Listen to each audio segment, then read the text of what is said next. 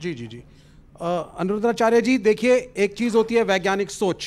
ठीक है। एक समय था प्राचीन समय में जब मनुष्य कपड़े भी नहीं पहनता था। धीरे धीरे करके हम इवॉल्व हुए। ठीक है। समाज बना गाँव बना शहर बना देश बना। तो वैज्ञानिक सोच को तो आपको मानना पड़ेगा। हाँ मानते हैं। तो आप आप जिस चीज़ की बात कर रहे हैं कि जो चीज़ शुरू से शुरू आ रही है उसको कंटिन्यूएशन में हम फॉलो करें। मैं कम्युनिस्ट हूँ। हाँ। मैं नहीं मानता अस्तित्व को ईश्वर के। भाई शुरू से कहा जा रहा हाँ। है कि जिसने हमें जन्म दिया वो माता है। क्या आप आप- नहीं मानते कि उसे आप माता कहते हैं? नहीं नहीं माता को तो मानते हैं। फिर आप कह रहे हैं कि आप कहते हैं परंपरा मैं नहीं मानता। आप कहते हैं आप कहते हैं कि ईश्वर ने सृष्टि की रचना की तो फिर मैं आ जाऊँगा। ईश्वर को किसने बनाया? तो यह डिबेट अनंत हो जाएगी। मैं सब इसका उत्तर ना विज्ञान के पास है अभी और ना किसी मनुष्य के पास। अलग अलग धर्मगुरु अपने अपने हिसाब से अपनी लॉजिक दे रही है। मैं किसी को बुरा भी नहीं कह रहा। लेकिन मैं आपसे एक बात कह रहा हूँ कि शुरू से तो जाति प्रथा भी इस मुल्क में है इस देश है। में है। शुरू से सुनिए, जाति सुनिए, प्रथा नहीं है। मैं बता देता हूँ आपको भगवत गीता में लिखा हुआ है वर्ण व्यवस्था है। क्या है? उसको आपने समझा? सुनते जाइए आप पहले। महाभारत में सूत पुत्र कह के कर्ण का अपमान हुआ। मैं आपको अनेकों उदाहरण दे सकता हूँ जिसमें जाति व्यवस्था जिसको आप सनातनी समाज कहते हैं उसका शबरी का के बेर रही है। क्या आप ये चाहते हैं कि ये व्यवस्था रहे? आपके सवाल के दो हिस्से हैं। एक है कि हम पुरानी व्यवस्थाओं को क्यों माने? रूढ़ीवादी व्यवस्था है। अब इनको इनको ये अब ये अब ये कह रहे हैं। पुरानी व्यवस्था क्यों माने? मैंने उदाहरण दिया कि जिस माँ ने जन्म दिया है ये भी तो बरसों से चली आ रही है माँ की परंपरा। ये मेरी माँ है क्यों माने? हर पुरानी परंपरा को आप नकार देंगे तो राम सेतु भी पुराना उसे भी नकार दीजिए। राम का अस्तित्व लोग नकारते हैं तो हर चीज़ नकार देने से तो कुछ ना बचेगी ना। फिर हम क्यों? हमने तो महात्मा गांधी को देखा ही नहीं। फिर हम भी मानने लगे, नहीं जी, महात्मा गांधी नाम के कोई हुए ही नहीं।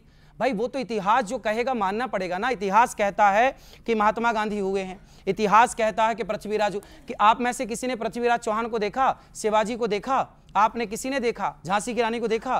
पर नहीं देखा। इससे ये सिद्ध थोड़ी होता कि नहीं जी, नहीं थे। भाई, इतिहास पढ़ा है ना। यदि आज के इतिहास को मानते रूढ़िवादी सोचों को क्यों माने? पहले तो जे इतिहास जो इतिहास जो इतिहास जो इतिहास महात्मा गांधी के होने का प्रमाण देता है वही इतिहास महाभारत का राम और कृष्ण के होने का भी प्रमाण दे रहा है। तो आप एक इतिहास मान रहे हैं एक नहीं मान रहे हैं? ये गलत बात है। जी। अब जातिवाद पे अब दूसरा सवाल कीजिए। मेरा बड़ा क्लियर प्रश्न था हाँ। कि पुरानी आप व्यवस्था की बात करते हैं पुरानी व्यवस्था तो सनातनी जिसको समाज आप कहते हैं उसमें जातिवाद भी था। लेकिन आज हम जातिवाद नहीं था सरकार। जातिवाद तो नेताओं ने घुसाया है। जातियाँ व्यवस्था के लिए थी। देखिए, हम सब यहाँ बैठे हैं ना। ये भैया बैठे हैं, ये एक व्यवस्था के तहत यहाँ बैठे हैं, मैं एक व्यवस्था के तहत यहाँ बैठा हूँ और आप चार लोग व्यवस्था के तहत ये बहन खड़ी है ना एक व्यवस्था के लिए खड़ी हैं। ये सारे लोग ये व्यवस्था, ये देखो कैमरे वाले व्यवस्थापक है। क्या इन सबके बिना, आप सबके बिना यहाँ मंचासन हो सकता है? ये व्यवस्था रही है ना। ब्राह्मण कोई है नहीं क्षत्रिय कोई है नहीं ये जाति व्यवस्था है। ब्राह्मण जो वेद पढ़े वेद पढ़ाए यज्ञ करे यज्ञ कराए दान ले दान दे वो ब्राह्मण। जो राष्ट्र की रक्षा करे वो क्षत्रिय। जो से जो आर्थिक रूप से देश को मज़बूत करे वो वैश्य।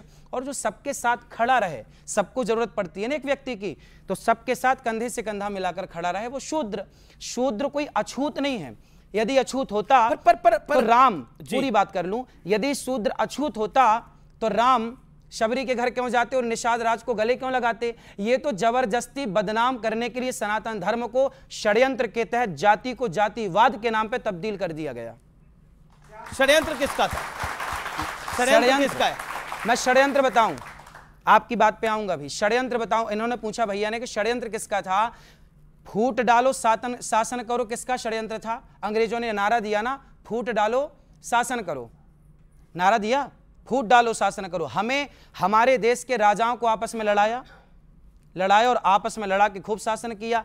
उन लोगों ने, उन अंग्रेज़ों ने, उन आक्रांताओं ने हम भारतीय लोगों को आपस में लड़ाया और जातवाद का जहर घोला और आज तक हम उसके शिकार हैं, आज तक लड़ रहे हैं। मैं कथाओं में इस बात को बोलता हूँ, हम चारों एक पिता की संतान है। ब्राह्म, वेद का वचन कहता है कि ब्राह्मणोश्य मुखमासीद बाहु राजन्या कृता ऊरु तदस जद वैश्य पदभ्यांग शूद्रो अजायत। भगवान के मुख से ब्राह्मण आप सब जानते हैं भुजाओं से क्षत्रिय जंघाओं से वैश्य और चरणों से शूद्र। अब देखिए उत्पत्ति एक से हुई मतलब चारों के पिता तो एक हुए ना? जब चारों का बाप एक है तो तुम चारों भाई हुए ना? और चारों भाई हुए तो कौन बड़ा और कौन छोटा मिलके रहो प्यार से? जी जी। अ, अ, कक्कर साहब एक सवाल पूछना चाहते हैं लेकिन लेकिन लेकिन आ, मेरे पास एक और आरोप है आपके ऊपर। आपकी अधिकतर नसीहतें जो हैं वो महिलाओं के लिए होती हैं।